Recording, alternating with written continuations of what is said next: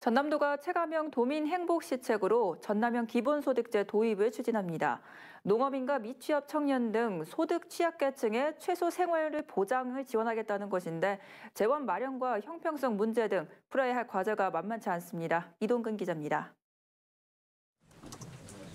김영록 전남지사는 후보 시절 농어민과 미취업 청년을 우선하는 전남형 기본소득제 도입을 약속했습니다.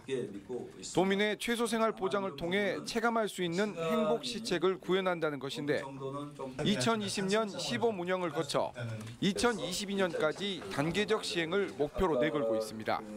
농민, 어민 등 저소득 취약계층의 소득 지원 수당을 포괄하는 전남형 기본소득제를 도입하겠습니다. 해남 등 일부 시군이 추진 중인 농민수당이 우선 화두입니다. 농민단체는 수확기가 돼야 소득이 생기는 농업인들의 생활 보장을 위해 농산물 가격의 변동과 관련 없이 매달 일정 금액 지원을 요구하고 있습니다. 15만 명에 달하는 농업인을 지원하기 위해서는 2천억 원의 예산이 필요한 데다 특정 업종 지원에 대한 형평성 문제가 걸림돌입니다.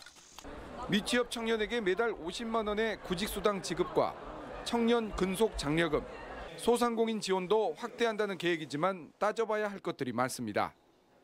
정부가 지급하는 실업급여와 중복 지급 문제, 대상자 선정 기준 등을 두고 논란이 불가피해 자칫 일회성, 선심성 행정에 그칠 우려가 있습니다. 더욱이 대상자 규모나 예산, 운영 방법 등은 아직 구체화된 계획도 없습니다.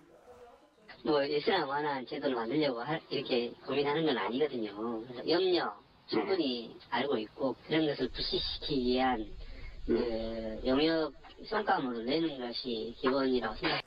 도민 행복 시책은 좋은 정책이긴 하지만 충분한 사회적 합의와 준비를 거쳐 시행하는 것이 필요하다는 목소리가 높습니다. KBC 이동근입니다.